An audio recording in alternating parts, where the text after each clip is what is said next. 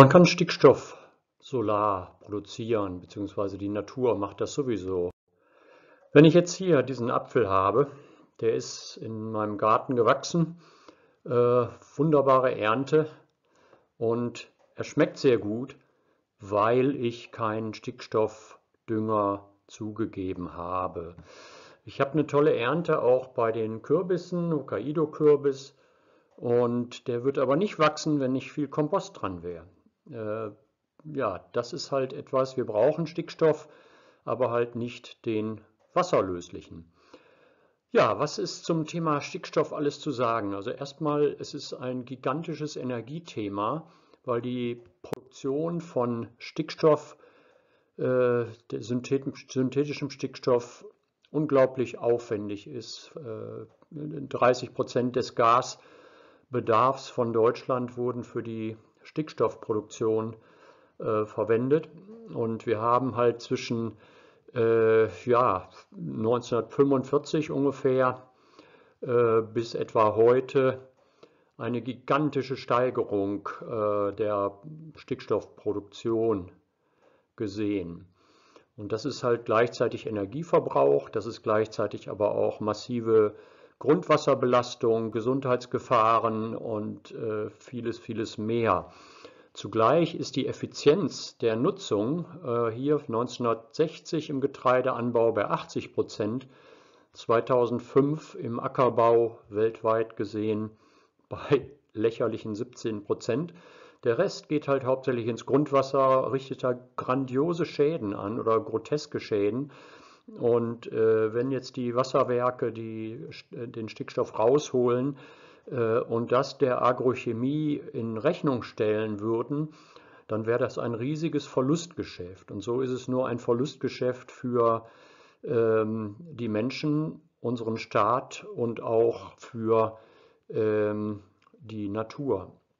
So, und jetzt, ähm, was für Folgen hat das noch? Also einmal gigantischer Energieverbrauch, äh, Vergiftung des Grundwassers und äh, es hat aber noch viel weitere Folgen.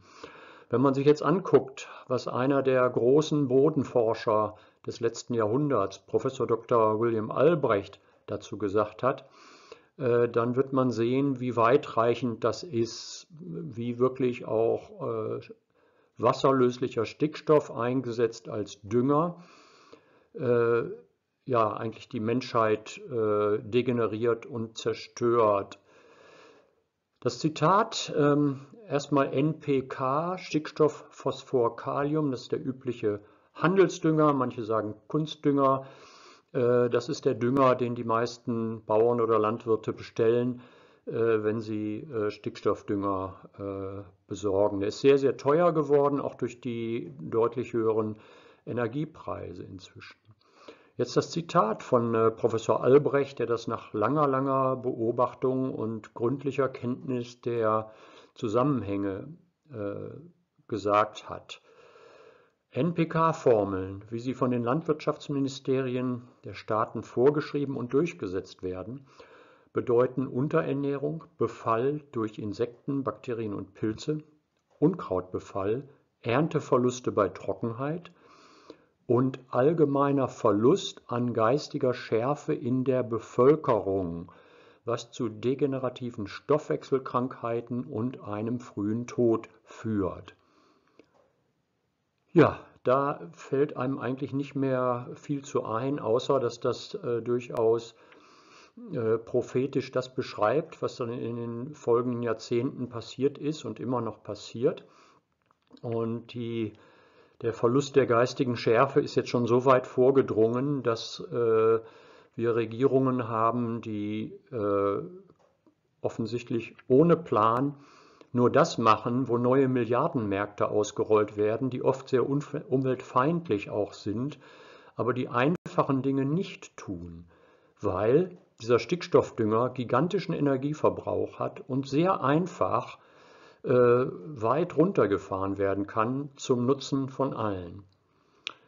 Ja, die ganze Situation ist äh, aber nicht so düster, wie man meinen sollte. Äh, wie gesagt, Stickstoff kann sehr einfach Solar produziert werden. Dafür braucht man nur einen gesunden Boden, äh, Sonne und äh, ja, einfach genügend ähm, Wasser. Und dann, kann, dann können nach Dr. Elaine Ingham ungefähr 100.000 Bodenbakterien diese Stickstoffsynthese. Also für die Landwirtschaft brauchen wir nicht diese riesigen Stickstofffabriken. Und äh, das ist ja die gute Nachricht und in, insofern führt uns das auch dahin zu schauen, was brauchen wir wirklich, damit die Pflanzen richtig gut wachsen. Ja, ich zitiere hier die Arbeit, tolle Arbeit von Dr. David Johnson, New Mexico State University in den USA. Und er hat das sehr, sehr äh, genau untersucht mit vielfältigen Experimenten über die Jahrzehnte. Äh, wenn wir jetzt uns Stickstoff angucken, also das berühmte N hier als Nitrat, äh, das ist halt die wasserlöslichste Form vom Stickstoff, die üblicherweise gedüngt wird. Auch Ammonium wandelt sich sehr schnell in Nitrat um im Acker. Die roten Balken hier, das sind die Erträge, also die hohen Erträge ähm, sind hier auf der linken Seite. Und wenn wir jetzt gucken, äh, wo ist der Stickstoff an der Stelle, er ist sehr niedrig. Hohe Stickstoffgehalte korrespondieren mit niedrigen Erträgen. Und das ist kein Zufall, weil Stickstoff stört und zerstört die natürlichen Prozesse im Boden. Und die solare Produktion funktioniert nicht mehr, wenn das Bodenleben mit wasserlöslichem Stickstoff äh, aus dem Lot gebracht wird und äh, einfach die Basisfunktion nicht mehr selber macht. Und dann äh, muss der Bauer halt teuer einkaufen, äh, Stickstoff produziert werden, Transporte von Stickstoff, Lagerung und es werden dicke Rechnungen geschrieben und das Grundwasser wird belastet. Ähm, ja, das Ganze jetzt hier, ähnlich gilt es für Phosphor, da hatte ich auch ein Video kürzlich gemacht über dieses Phosphor-Paradox, äh, dass man, wenn man viel Phosphor in NPK mit draufschmeißt, äh, dann die eigenen Phosphorreserven gar nicht mehr nutzen kann. Also man zerstört das eigene Guthaben und äh, kauft teuer was ein. Und das ist natürlich was, was äh, ja, nicht lange Spaß macht und deshalb viele Bauern äh, und Landwirte das jetzt auch anders machen. Nochmal diese Sprachverwirrung. Bauern sind selbstständige Unternehmer, die einen Hof haben. Landwirte Bauern sind auch fast immer Landwirte, aber Landwirte können auch als Angestellte auf einem äh, Betrieb arbeiten. Die, ja, das, das, des Rätsels Lösung, wann haben wir hohe Erträge, hat äh, David Johnson sehr schön gezeigt. Hier wieder die hohen Erträge. Und hier haben wir jetzt einen wunderschönen Zusammenhang mit ja, dem Verhältnis von Bodenpilzen zu Bodenbakterien. Und das ist halt ähm, eine Korrelation, das heißt ein Zusammenhang. Wie gut ist der Zusammenhang zwischen dem hohen Verhältnis von Bodenpilzen zu Bodenbakterien äh, und dem Ertrag. Und da sieht man ganz klar, wenn das hoch ist, habe ich hier sehr, sehr hohe Erträge. Und nicht nur das, sondern da habe ich eine hohe Nährstoffdichte. Und das, was produziert wird, hat eine sehr, sehr hohe Qualität. Ja, dann ähm, ist der Weg ja schon klar, dass die Bodenpilze helfen sehr stark mit. Äh, Bodenpilze bekommen ein, oder das Bodenleben generell bekommt äh, etwa die Hälfte bis zwei Drittel der gesamten Photosyntheseleistung. Und dafür geben die Bodenpilze zum Beispiel bei Trockenheit Wasser, wenn Bedarf ist, Molybdän aus der Tiefe. Nur mit Molybdän als Spurenelement kann die Stickstoffproduktion im Boden auch funktionieren. Nitrogenase braucht Molybdän und äh, das ist halt etwas, was halt jetzt ähm, bei diesen hohen Pilzanteilen ist. Viele Bakterien, die nehmen den Zucker, sagen nicht mal Danke ähm, und fressen den einfach weg und die Pflanze geht leer aus und der Ertrag ist dann niedrig. Ja, äh, jetzt ähm, können wir noch mal gucken, wie sieht die Situation aus. Wo sind die Böden lebendig? Wo gibt es Böden, die regeneriert werden? Und da haben wir hier die, äh, einen Überblick über die neueste Forschung. Die ist immer auch schon ein bisschen alt, weil es wird nicht viel geforscht. Also das Wichtigste überhaupt auf der physischen Ebene wird kaum geforscht, ne, weil da die Schlussfolgerungen, die führen dazu, dass große Industriebetriebe ihre Produktionswege und Marketing äh, drastisch überdenken müssen. Und das sollte die Politik eigentlich einfordern. Äh, jetzt kann man hier sehr stark erkennen, äh, dass Europa im Moment auf dem absteigenden Ast ist. Europa zerstört sich selbst durch Bodenzerstörung, ähm, auch durch diese irrsinnige ähm, ja, Zerstörung der Industrie. Ich finde viele dieser Industrie so nicht gut, aber um umzustellen auf eine ökologische, sozioökologisch gute Industrie, brauchen wir erstmal die Industrie noch. Wir können sie nicht einfach äh, alle abwandern lassen, wo die dann vielleicht noch viel schlechter produzieren. Und das passiert aber im Moment im ganz, ganz großen Stil, einschließlich der großen Düngerhersteller. Und insofern zum Beispiel Agrochemie umwandeln in regenerative Agrochemie, die dann auch nach diesen ganzen Spurenelementen guckt. Wenn die keinen Stickstoff mehr verkaufen äh, oder nur, nur bei wenigen Kulturen, ähm, dann ist das für die eigentlich eine Erleichterung, weil das ist sehr teuer, riesige Mengen, äh, die Marge ist nicht sehr hoch. Wenn man intelligente Beratung auch mitverkauft und die ganzen Spurenelemente, die kosten ganz wenig pro Hektar, aber da kann man eine anständige Beratung machen, die wirklich den Bauern hilft. Was heute gemacht wird von Agrochemie ist keine Beratung, sondern das ist im Grunde äh, Marketing. Äh, man sagt hier, du musst das kaufen und das kaufen und das kaufen und in der Summe werden die Bauern immer ärmer, die Höfe verlieren ihre lebendigen Böden durch diese Irreführung. Und die Irreführung wird seit Jahrzehnten gefördert und teils gefordert von einer irregeleiteten Industrie, ähm, die dem Lobbydruck nicht standhält. Diese Lobby arbeitet mit äh, ja, sehr fiesen Methoden, die überhaupt nicht akzeptabel sind. Und ich rufe diese Industrie auf, umzustellen auf regenerative Methoden. Äh, damit kann besser Geld verdient werden, die Ausgaben können sinken und äh, es kann allen besser gehen. Und äh, ja, dieses können auch Kleinbetriebe sein. Wenn die große Industrie nicht will, dann lässt man sie einfach und macht halt lokale Kleinbetriebe, die dann halt diese Beratung machen über äh, regenerative Agrochemie im Zusammenhang mit regenerativer Landwirtschaft, wo man dann auch Beratung über Bodenaktivierung macht. Wie gesagt, das ist in Europa dringend erforderlich, äh, wenn Europa jetzt nicht ähm, sich weiter kaputt machen lassen will. Der Wandel kann im Moment nur von den Menschen selber kommen, von den Bauern und auch von Menschen, die den guten Betrieben dann auch ähm, die gute Ware mit höherer Nährstoffdichte abkaufen. Das passiert zum Glück immer mehr. Leider ist die Biolandwirtschaft da auch noch nicht so richtig auf der Höhe, weil ähm, auch da sind halt oft Mängel an Spurenelementen und es wird weiter gepflügt und da kann man nicht auf den grünen Zweig kommen. Jetzt gibt es ein spannendes Ding und da zeige ich mal jetzt hier auf Nordamerika.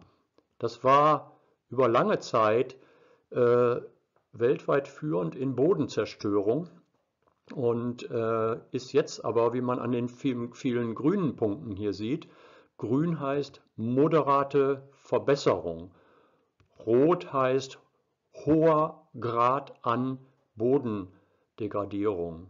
Ne? Und in Nordamerika ist die regenerative Landwirtschaft 20, 25 Jahre weiter und damit hat man jetzt ganz, ganz viele Böden wiederhergestellt. Den Betrieben geht es gut, die haben wieder mehr Einkommen, weil sie viel geringere Ausgaben haben bei gleicher oder langfristig auch deutlich steigender äh, Produktivität, bei höherer Qualität der Produkte. Und äh, das ist halt etwas, was halt ein sehr äh, ja, überzeugendes Modell ist und was jetzt in Deutschland auch zum Glück immer mehr gemacht ist. Lustig ist auch hier Subsahara-Afrika. Ne? Also die Vorurteile und das, was wir alles so denken, das ist ein bisschen primitiv, weil wenn man sich das anguckt, da wird vieles besser. Not macht erfinderisch. Und äh, jetzt sollten wir mal sehen, dass wir unsere Hausaufgaben machen und auch hier äh, Europa äh, ja, einfach mit besseren Böden zukunftstauglich machen und äh, die, ähm, den Verlust der geistigen Schärfe ändern, indem die Nahrungsqualität wieder besser wird. Höhere Nährstoffdichte, das kann man mit BRICS messen, da habe ich auch ein Video dazu gemacht. Und äh, so haben wir eigentlich alle Chancen, äh, und ich finde, Not macht erfinderisch ist einfach ein bisschen, bisschen doof, weil man kann ja auch bevor die Not äh, kommt, erfinderisch werden. Und das ist jetzt ein Aufruf. Und ich weiß, dass viele schon dabei sind. Äh, und die Politik ähm, will offenbar nicht, die, die, die macht Bürokratie, die den Bauern im Grunde äh, ja, die Existenz schwer macht. Und einige Betriebe, ich weiß von Betrieben, die haben aufgegeben wegen Bürokratie weil das einfach keinen Spaß mehr macht. Das kann man nicht mehr mitmachen. Die Berater selber kommen teilweise auf die Höfe und sagen, ja, sorry, ich weiß, äh, was ich hier fordere, ist, ist Unsinn, aber ich muss es machen. Mit so einer Einstellung kommen wir nicht weiter. Leute, steigt da aus, aus diesem Unsinn, aber verabredet euch mit anderen. Wenn einer das nur macht, geht es nicht weiter. Da sollte man über Verbandsarbeit einfach einfordern, diese, diese absurde Bürokratie, äh, einzuschränken. Es gibt auch sinnvolle Sachen und wenn man sich darauf beschränkt, ist die Bürokratie viel kleiner, billiger und äh, allen geht es besser. Und äh, da ist halt einfach die Sache jetzt, die ja, Verbesserung der Böden löst eigentlich die ganz großen ökologischen Fragen. Das ist genau, das ist da äh, auch das Wetter äh, und Klima hängt an gesunden Böden. Bei gesunden Böden haben wir äh, genügend Wasserneubildung, wir haben Wolkenbildung, Verdunstung, Kondensation, was halt wirklich der wesentliche Teil vom ausgeglichenen Wetter und langfristig dann des Klimas ist. Und äh, auch das äh, ja, Nebenthema Kohlenstoffdioxid. Äh, es könnte sogar eine Verknappung geben, wenn überall die Böden schnell verbessert werden. Und das wäre auch gefährlich. Und insofern, äh, ja, man braucht jetzt nicht einfach nur zu sehen, wo kann man äh, ja, Lobbygruppen glücklich machen, indem man da absurdeste Investitionen im Namen der Umwelt macht, die aber dann die Umwelt oft auch schädigen. Ähm, und da kann man halt einfach sagen, hier, wenn die, wenn die Landwirtschaft weiterhin so vernachlässigt wird, äh, dann kann man einfach ganz klar sagen, äh, da fehlt es an Rückgrat. Äh, das Wissen ist da, das weiß ich. Es gibt Menschen, die auch regenerative Landwirtschaft auf höchster Regierungsebene mit propagieren. Es fällt auf taube Ohren, weil es gibt viele, viele Interessen. Und nochmal die Agrochemie umlenken, nicht zerstören, sondern halt die halt dazu bringen, mit den Menschen, für die Menschen, für die Bodenbelebung zu arbeiten. Und das ist weiterhin auskömmlich für diese Industrie. Äh, da braucht man sich jetzt heute gar keinen Ärger mehr einhandeln, was sich leider auch getan hat. Und äh, das ist halt einfach auch was, was ja, im Nachhinein nicht so viel Spaß macht. Also mir macht sehr viel mehr Spaß, diese vielen tollen Lösungen zu präsentieren. Und äh, da kommt man dann wirklich mit weiter. So, jetzt nochmal äh, kurz zum Abschluss. Ähm, neben diesem gestörten Stickstoffkreislauf durch diese irren äh, Mengen an äh, wasserlöslichem Stickstoff, der produziert wird in riesigen Industriebetrieben, die gigantische Strommengen brauchen, nochmal, und das Grundwasser schwerst belasten mit hohen Kosten für die Wasserwerke und für die Gesellschaft. Ähm, dazu gibt es noch äh, einfach dieses Problem dieser Güllefluten. Auch hier wieder die industrielle Tierhaltung, äh, die einfach diese, diese gigantischen Grundwasserverseuchungen hervorruft, nicht akzeptabel ist. Und wenn man jetzt die Tiere immer passend zur Fläche ins Freie bringt, geht es den Tieren besser. Ähm, mit äh, Portionsbeweidung kann man Humusaufbau machen. Hier mal ein Bild dazu von äh, dem äh, Bauern Adrian Ruby in der Schweiz, der es seit langem macht. Wunderbaren Humusaufbau durch die Tiere.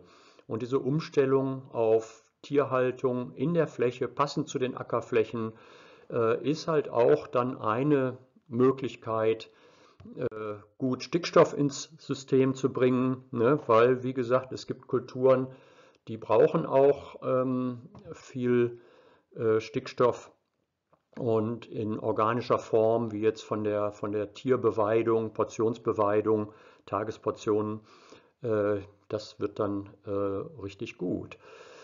Ja, nochmal ganz kurz zusammengefasst, ähm, die, der, der massive Einsatz von äh, Stickstoffdünger, wasserlöslichem Stickstoffdünger ist schädlich für Mensch, Natur, zerstört das Bodenleben, zerstört die Betriebe, weil die Produktivität irgendwann zusammenbricht durch kaputtes Bodenleben und zerstört halt die Qualität des Grundwassers und führt auch dazu, dass es immer weniger Wasserneubildung gibt, weil die Versiegelung der Flächen durch Bodenzerstörung ist die Riesenkatastrophe.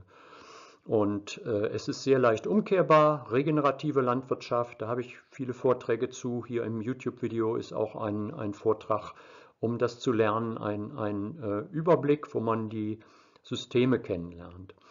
Ja, und um jetzt den Verlust an geistiger Schärfe aufzuhalten, sollten wir sehen, dass wir gute, nährstoffreiche Nahrung zu uns nehmen. Dieser Apfel ist auf einem Boden gewachsen, der gutes Bodenleben hat, wo ich genug Holziges reingebracht habe, so dass wir die Bodenpilze auch haben.